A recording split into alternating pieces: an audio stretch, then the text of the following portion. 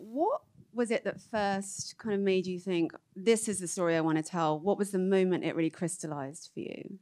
There were two things that grabbed me immediately, and I wasn't thinking about making a television show or anything. I was just reading about Chernobyl, and and the first thing was that they were running a safety test, which as a writer, you know, if you if you work that in fictionally as some sort of fake irony, you're you're you're going to be in trouble. But if it really happened that way, that is kind of remarkable. And then the the next thing I read was that the man that was put in charge of fixing this problem uh, committed suicide two years to the day after the explosion. And again, it just seemed very um, dramatic. Suddenly, it just seemed like the facts were dramatic inherently.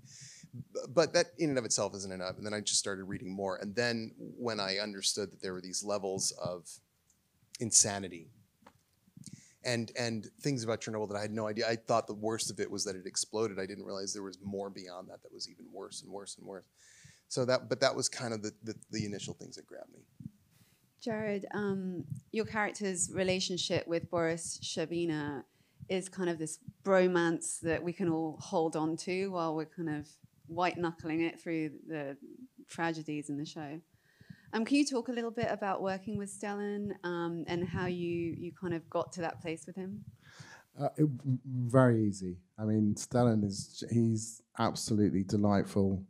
Um, he's uh, he's got a wicked sense of humor. He's incredibly easygoing. Um, he, I mean, you just you want him to like you.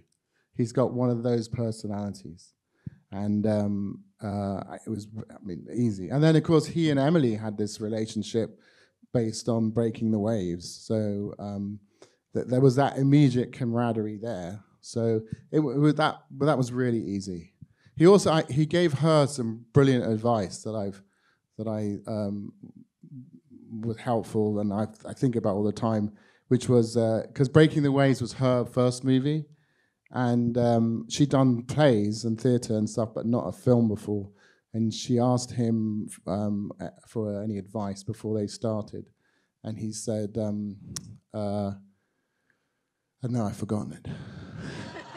um, he said, uh, um, uh, "Don't don't aim for anything. Just let go." And uh, it was it's always good advice because you have to come in with a plan in your back pocket, what you think you're going to try and achieve with a scene, but you have to be prepared to let go immediately because you've got no idea what the other person's going to do, you know. And hopefully they're gonna they'll do something. You're like, what are they doing? Right, I, you need to like respond. But that's what makes it interesting, you know.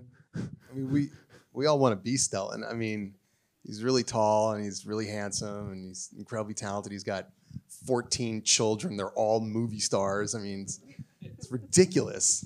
He's the best. Yeah. Like, in fact, he's such a good guy. I can't even be jealous of him. It's ridiculous. Yeah. You see how handsome his kids are? The fuck.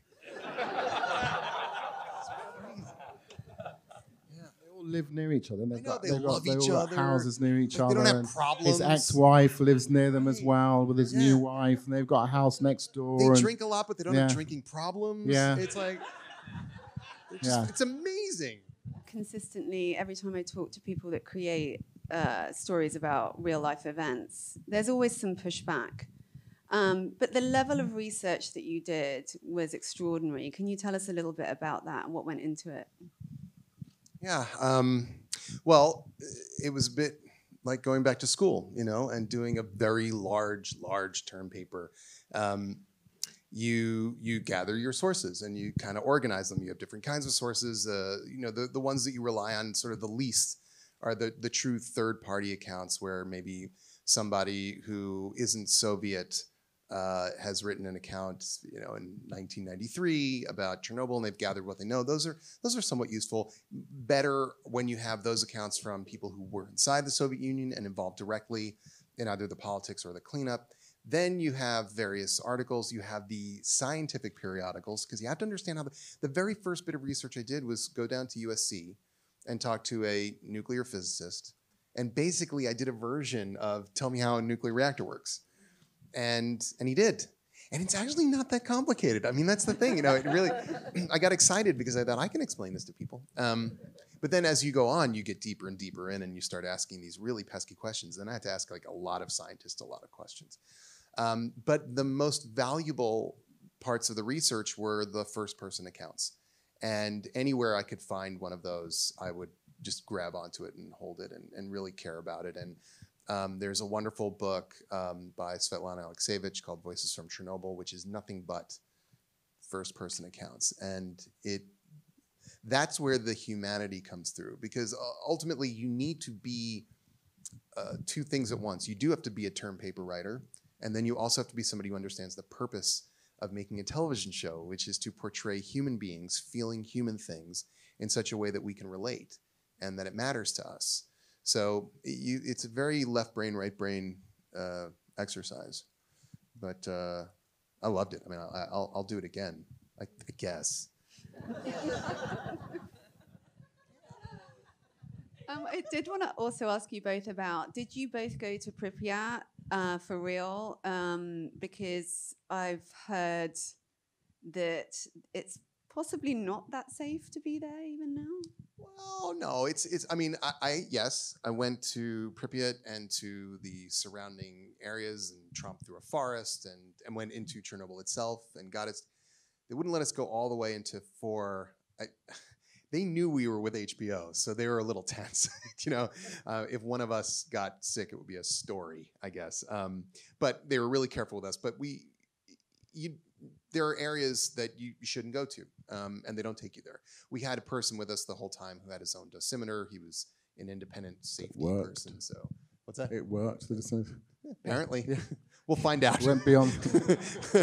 um, he never turned it on. Oh, sorry, uh, I forgot to turn it on, but I'm sure everything's fine. Three point uh, six. Well, they actually, they in addition to that, like beep beep beep thing, they, everybody gets a little passive dosimeter, which is just a little piece of film inside of a cartridge, and it measures your overall exposure to radiation over time. And then when you're done with your trip, you hand it to them, and I said, "When will I find out?" And they're like, "Oh, we'll we'll let you know if there's a problem." Um, they didn't let me know, so I'm okay.